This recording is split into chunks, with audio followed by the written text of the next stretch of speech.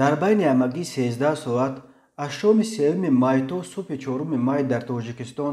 дар се садамаи марговар се нафар аз ҷумла ду пиёдагард бо шумули як кӯдаки ҳаштсола ҷон доданд. Бино ба иттилои вазорати корҳои дохилаи тоҷикистон шоми сеюми май соати 19 бар асари ба ҷарраи тахминан 110 метр чапа шудани мошини тамғаи мусо дар ҳудуди деҳаи обурдони ноҳияи машҷоҳ мусофирони ин мошин садоратмо мингбошӣ ва сокини сиюнусолаи ҷамоати иван тоҷики ҳамин ноҳия дар ҷои ҳодиса ба ҳалокат расидааст субҳи барвақт чоруми май соати тахминан чору си пиёдагард мурод тоиров сокини 61солаи ҷамоати лоҳутии конибодом дар роҳи хуҷанд конибодом зери чархи мошини мерседес монда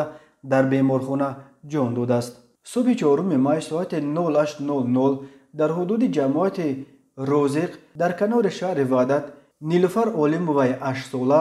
зери чархи мошини мерседес монда дар беморхона ҳалок шудааст. Вазорати корҳои дохила гуфт дар ҳар се маврид ронандагон аз ӯҳдаи идораи воситаи нақлиёт баромада натавониста ба садамаҳои марговар роҳ доданд. Ҳар сол бар асари садамаҳо дар роҳҳои тоҷикистон то 400 нафар ҷон бохта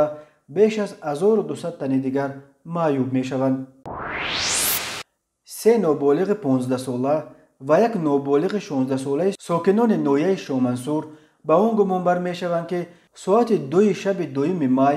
пинҳонӣ вориди манзили як зани сисолаи сокини шомансур шуда 78000 сомонияшро дуздиданд ду ноболиғи 16сола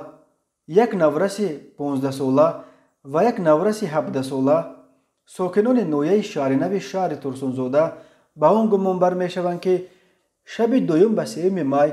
пинҳонӣ ба тарабхонаи чашма дар қасабаи якуми шаҳри турсунзода даромада се кондитсионери тамғаи самсунгро шикастанд ва аз дохилаш қисмҳои эҳтиётии онро дуздиданд. Зараре расонидашуда ба соҳиби тарабхона сокини 34солаи душанбе 15 ҳазор сомонӣ ҳисоб шудааст